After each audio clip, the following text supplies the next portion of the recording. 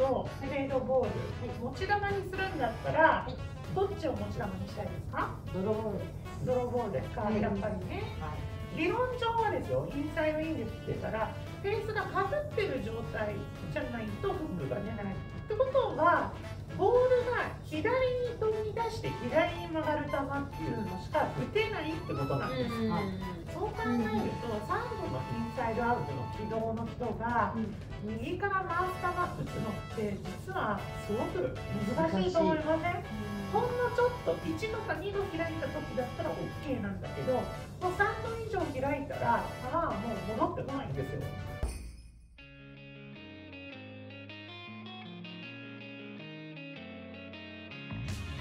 こ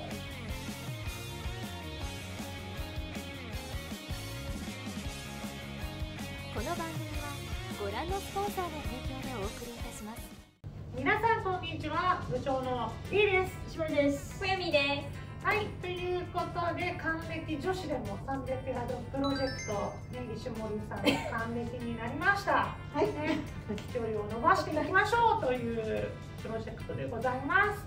そして今日も女子ドラゴンプロ育成プロジェクトの1期生の小闇に参加してもらいたいと思います。お願いしまはいということで今日の動画なんですけれどももう今までねもう何本も今日撮影したのがもうすでに配信されてると思うんですけれどもはい。球の曲がる原理であったりとか、どういうふうに当てたらより遠くに飛ばせるのかとか、まあ、そういうところをやってきたんですけれども、はいまあ、石森さんははいドローボールとフェードボール、はい持ち球にするんだったら、はい。どっちを持ち球にしたいですか？ドローボールです。ドローボールですか、はい。やっぱりね。はい。でまあ、距離を出していくっていう意味では、まあ、さっきの動画でも話したんですけど、はい。ドローの方がね距離が出やすい、うん。ね確かにそうなのでじゃあまあ石森さんねはい。ドローを打っていくためにはじゃあ必要なことっていうのは何ですか？まず一番最初に必要なこと。軌道そう。正解です。さすが。さすが。まあ結局のところですね。インサイドインのまっすぐの軌道だとしたらですねドロー回転が出る時っていうのは軌道に対してフェースがかぶって当たった時にドローが出るわけですから理論上はですよインサイドインで振ってたらフェースがかぶってる状態じゃないとフックが出ない。ってことはボールが左に飛び出して左に曲がる球っていうのしか打てないってことなんです、理論上はね、はい。はい、だからまっすぐ飛び出して左に曲がる球であったとしても、インサイドアウトの軌道じゃないとまっすぐ飛び出して左に曲がる球ですら打てないってことなんですよね。はい、この細かいね球の曲がる原理はうん何本か前の動画でご説明してるので、それを見ていただきたいと思うんですけれども、はいなのでドローを操っていきたいって思うんであれば、うんまずはインサイドアウトの軌道を作っていきたいなっていうところなんです。はいで例えばですねじゃあインサイドアウトの軌道が3度だったとしますよね、はい。3度のインサイドアウトの軌道だったとします、はい。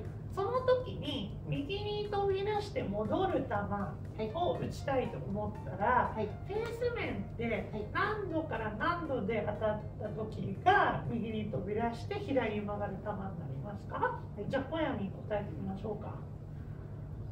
え三度3度のインサイドアウトの三軌道ですよ。度のインサイドアウトのはい。三度以上3ね。度以上3度以上フェースが開いてるってことですか？ってことは軌道に4対して。度とかはい。5度とか開いてる状態右向いてる状態ってことですか？あ三度からですね。3度から？三度から。あれ？頭の中。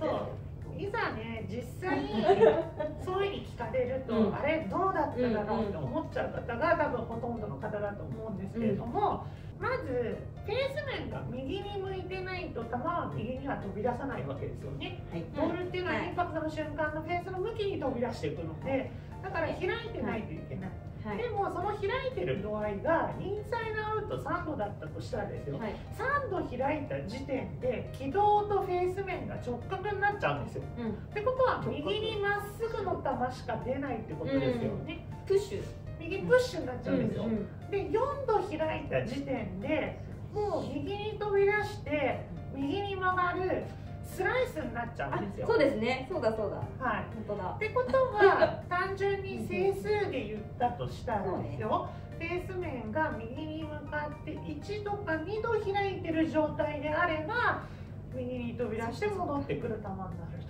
と。3度以内じゃなきゃダメですもんね。じゃないと。面に対してかぶってないですねなのでそう考えると3度のインサイドアウトの軌道の人が右から回す球打つのって実はすごく難しいと思いません？ほんのちょっと1度か2度開いた時だったら OK なんだけどもう3度以上開いたら球はもう戻ってこないんですよ。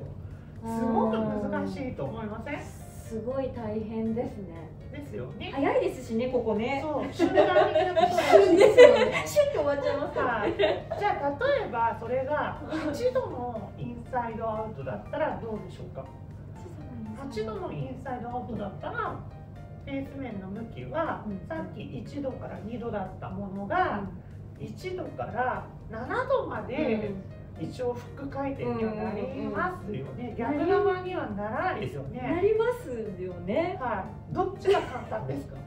ま あそこの幅が広い方が簡単簡単ですよね。はい、だからまず最初に、うん。その右から飛び出して戻る球を打つ練習をするんであれば、最初はインサイドアウトの角度が強い方が逆球が出にくいってことですよ、そうですね。うん。わでかりやすい前の動画でも言ったんですけど、ドローボールを操る人は、絶対に逆球だけは打っちゃいけないわけですよ、だからドローボールっていうのは左に曲がる球っていう定義っていうよりは絶対右に行かない球を打てるっていう保険が欲しくてフックを打ってるわけじゃないですか。だから右に行っちゃう球だけはもう避けなきゃいけないわけですよ、って考えたらやっぱり軌道を最初は強めに作ってあげるっていうのがやりやすいですよね、うん。はい、なのでまずはインサイドアウトの軌道を強くしていきたいんですけれどもこのね軌道とフェース面の向きあとフェースのどこに当たったかこの3つによって球っていうのは生まれるわけですけれどもその中の軌道っていうのはできるだけオートマティックにしていきたいんですよね。例えば意識的にインサイドアウトに振ろうって思えばインサイドアウト8度になりますみたいな人がいたとしても無意識で普通に振ってくださいって言ったら、うん。アウトサイドイン2度になっちゃうかもしれないですよね、そういう人って。はい。だから意識的にインサイドアウトに振ってるっていうのは実はまだ自分のものになってないんですよオートマティックになってないんです。意識しないとできないことなんで。で軌道を意識してますっていう時点でフェース面をコントロールするっていうのもすごく難しくなっちゃうんですよ。ほとんどの人が最初インサイドアウト練習すると球が右に飛び出すんですよ。で右に飛んでっちゃうんですよ。戻ってこないんですよ。スライス出るんですよ。これインサイドアウト意識すると同時にフェースも開いちゃうことが多いんですよだからあ。の実際には軌道が右に飛び出させてるわけじゃない。あのフェース面が開いてるから右に飛んでってるんだけどなんかインサイドアウトで振ると全部球右行っちゃうなみたいなイメージを持つ人が多いのはそういう理由なんです今言った軌道フェース面の向きフェース面のどこに当てるかこの3つをできるだけこうオートマティックに無意識でできるようにしていきたい、その中で一番最初に無意識にできることって軌道なんですよね、で軌道って要は体の大きな筋肉にもうある程度癖づけされちゃってるものなんで、だからほとんどの人がこうトラックマンとかねちゃんと軌道が分かる機械であの分析するととりあえず普通に振ってくださいいつも通り振ってくださいって言うとあのインサイドアウト寄りになる人もいればアウトサイドイン寄りになる人もいるし偏るんですよね大体。ねだからもうそれはもう体に染みついてるわけですから逆に言えばもう癖づけさえしちゃえばずっとインサイドアウト8度とかアウトサイドイン8度とか固定にできちゃうんですよ。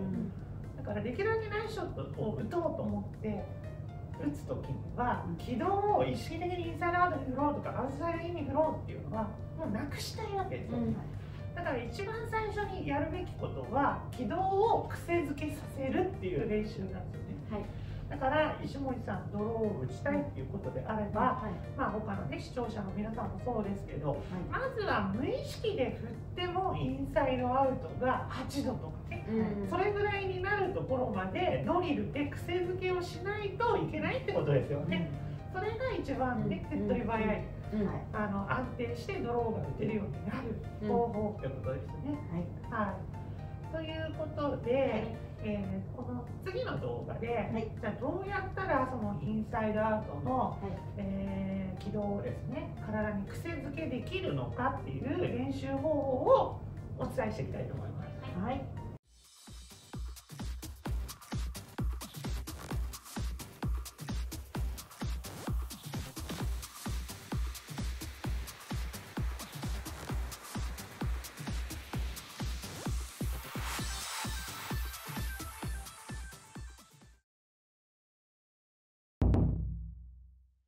ヘッドスピードを上げていくのに一番重要なことって何かって言ったら筋肉を速く動かしていくっていう感覚を脳にインプットさせることなんです。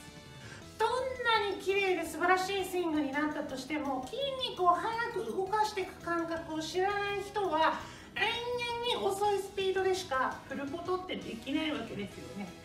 このマンブリゴルフ部棒は超高速スピードが出るのでこれを振っているだけでどんどん筋肉を速く動かしていく感覚が覚えられるんです。